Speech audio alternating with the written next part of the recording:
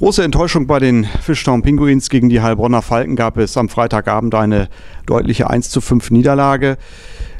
Die Mannschaft, das Umfeld sicherlich enttäuscht, die Fans auch. Neben mir sitzt der Teammanager der Pinguins, Alfred Prey. Auch Alfred, du wirst enttäuscht sein nach diesem Spiel. Aber man darf nicht vergessen, im Moment steckt die Mannschaft in einem Loch. Es klappt einfach nicht. Und äh, wenn man es vergleicht mit dem letzten Heimspiel hier gegen Bietigheim, war schon, obwohl es eine hohe Niederlage gegeben hat, doch eine Leistungssteigerung zu sehen.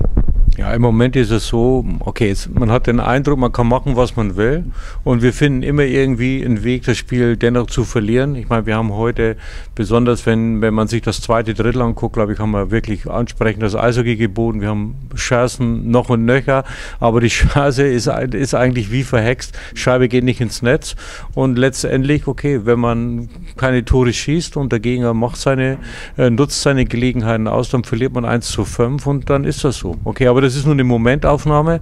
Äh, wir haben in diesem Jahr schon viele ich sag mal, glückliche Stunden erlebt und jetzt im Moment sind wir vielleicht ein bisschen, äh, äh, okay, ein bisschen angeknackst, ein bisschen traurig, aber okay, wir werden alles geben, um diesen Umstand zu ändern und hoffen, dass wir irgendwann auch wieder auf die Siegerstraße zurückfinden. Eigentlich, ich glaube, uns fehlt einfach mal so eine Art Befreiungsschlag, so ein kollektiver Befreiungsschlag, einfach mal ein Sieg und dann wird das auch wieder gut werden. Zum Beispiel in Schwenning, die haben jetzt achtmal in Folge gewonnen. Den könnte man ja mal so richtig die Feierei verderben am Sonntag. Ja, okay, wir würden jedem gern jetzt im Moment die Feierei verderben, aber ich meine, die Schwenninger, die werden wahrscheinlich natürlich alles tun, um das zu verhindern. Aber wie gesagt, wir fahren natürlich auch nach Schwenningen, das ist keine Kaffeefahrt für uns. Wir werden uns in Schwenningen richtig ins Zeug legen und dann vielleicht äh, schaffen wir ja in Schwenningen die Sensation. Die Penguins haben einen Durchhänger. Das ist ja nichts Neues. Das hat es in jeder Saison einfach mal gegeben. Und immer wieder haben es die Penguins auch geschafft, sich zu befreien und immer letztendlich auch ins sichere Fahrwasser zu kommen. Es ist also jetzt nicht an der Zeit, SOS zu funken bei den Penguins. Nein.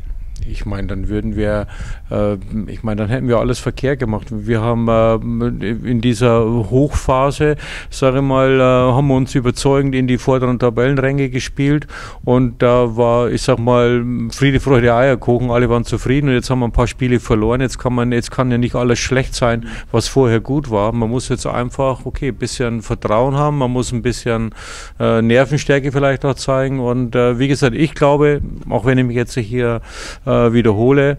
Äh, uns, wir brauchen einfach jetzt mal einen Sieg, um uns wirklich äh, auch im Kopf mental zu befreien und dann wird das auch wieder besser werden. Schauen wir noch mal ein bisschen auf die Personalien. Ähm, ihr seid dabei, das war zu hören, Sergej, ist das einen deutschen Pass zu besorgen, dass er die deutsche Staatsbürgerschaft bekommt? Gibt es da schon eine Wasserstandsmeldung, wie weit ihr in dieser Sache seid? Ja, okay, also wir besorgen niemand irgendwelche Pässe.